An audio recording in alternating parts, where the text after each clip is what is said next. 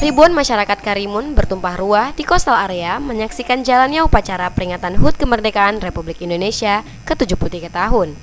Pimpinan DPRD Kabupaten Karimun, Bakti Lubis membacakan teks proklamasi kemerdekaan.